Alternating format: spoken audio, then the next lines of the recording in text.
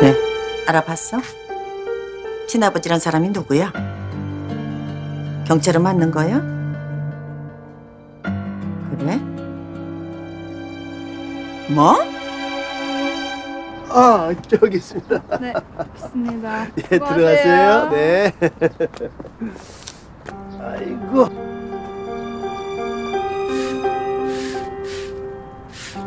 실종된 게 아니라 5년 전 경찰직을 그만두고 소망 아파트 경비로 일하고 있습니다.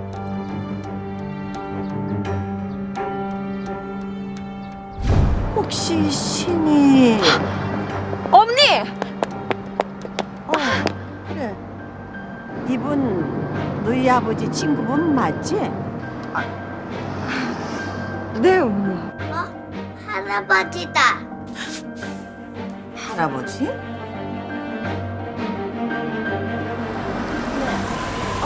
어머니!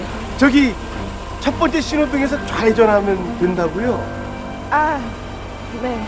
아, 예, 감사합니다.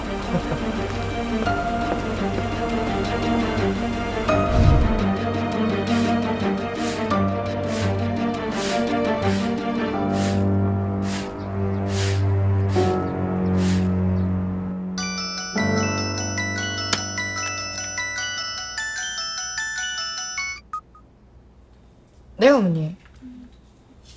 네? 알겠습니다. 지금 그리로 갈게요.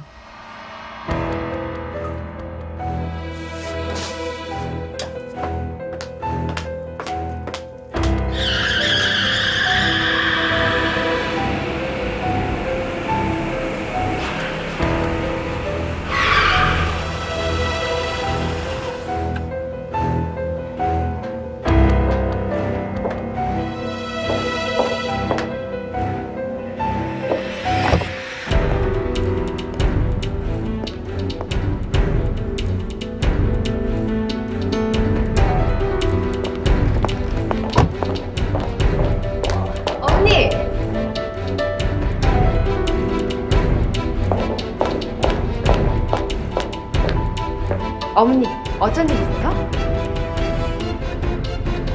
왜 그렇게 보세요?